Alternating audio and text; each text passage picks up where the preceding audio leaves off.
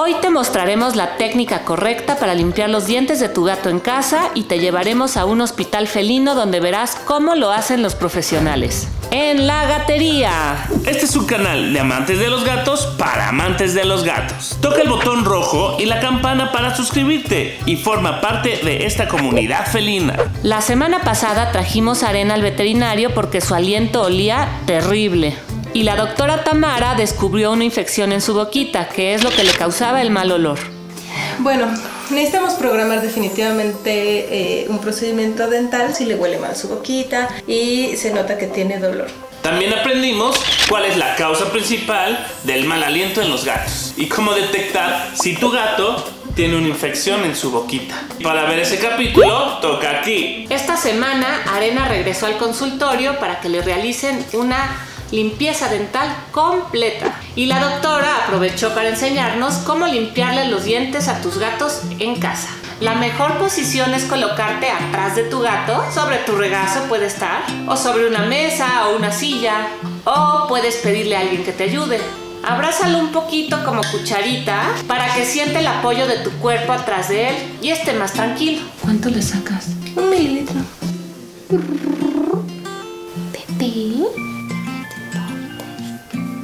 Yo creí que Arena se iba a poner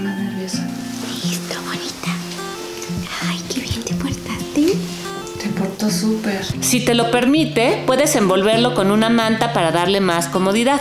Utiliza movimientos suaves y háblale bonito para que esté tranquilo. Ay, tranquilo. Ya bajo anestesia vamos a hacer una exploración profunda de la boca para saber si alguna pieza se tiene que ir. ¿Sale? Pero ahorita, pues, estando consciente el gato es imposible. Es normal que a partir de los 3 años nuestros gatos comiencen a desarrollar problemas derivados de su higiene bucal. Y es tarea de nosotros, sus fieles sirvientes, el solucionar esos problemas para nuestros amos felinos. En este momento ya se relajó un poco y estamos anestesiando con un poco de gas para que nos permita intubarla. Al igual que los humanos, tu gato necesita cepillar sus dientes con regularidad, pero no puede hacerlo solo, por lo que tienes que ayudarlo. Entonces, ¿cuáles son las recomendaciones para ella y para todos tus gatos? Si puedes dos veces a la semana tomar una gasa, envolverla en tu dedo y que puedas pasarla por la cara lateral de los dientes. Por la parte interna es imposible. no lo entiendes que vas a acabar masticado. Lo primero que necesitas es que tu gato coopere. Si se resiste demasiado a tener cuchillos en tu boca, lo único que conseguirás es que tu gato te odie. Puedes remojar la gasita en un poco de agua de esta que viene en las latas de atún. El sabor y el olor permitirá más fácilmente que introduzcas tu dedo dentro de su boca. Para saber cómo hacerle para que tu gato te adore, puedes aplicar los consejos en este video. los dientes son muy pequeños, entonces ni siquiera los vas a ver, pero vas a sentir cuando pases la gasa y aquí se queda toda la placa dentobacteriana. Mm, claro. Puedes agregar algunos productos como eh, los que contienen clorexidina y que son especiales para que también puedas llevar a cabo esta actividad. Hay juguetes que funcionan con este mismo principio de la redecita donde el gato lo va a estar masticando y ahí se va a quedar la placa entobacteriana. Después puedes utilizar dedales ya especiales para esto. Oh. Estos son productos que puedes encontrar en veterinarias y también los puedes ordenar en línea. Si encontramos un buen vendedor de estos productos que les podamos recomendar, les colocamos la liga aquí abajo en la descripción. Y finalmente, el cepillo.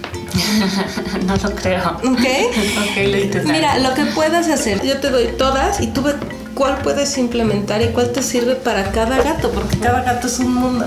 Ahorita ella ya no siente nada. No, ya está totalmente dormidita. Esta pieza dental tiene mucho sarro. Vemos que inclusive la pieza está muy floja. Si hay gingivitis o una pieza dental, como en este caso móvil, puede afectar que tenga dolor crónico y que deje de comer. Cuando ya no tiene piezas dentales, se adaptan muy bien tanto a los alimentos húmedos, también a las croquetas. Y por cierto, te recordamos que la gatería estará el próximo 9 de junio en la Expo Vive Gatito 2019, en Expo Reforma de la Ciudad de México. Kyle y pasa a saludar. Información abajo en la descripción. Nunca, por nada del mundo, utilices pasta dental para humanos en tu gato. Porque si tu gato se traga la pasta, podría enfermarse gravemente. Y ten por seguro que se la tragará, ya lo conoces. Si vas a utilizar pasta dental, que sea pasta especial para mascotas. Puedes encontrar variedades con sabor a carne, lo que lo convierte en una experiencia más agradable para tu gatito.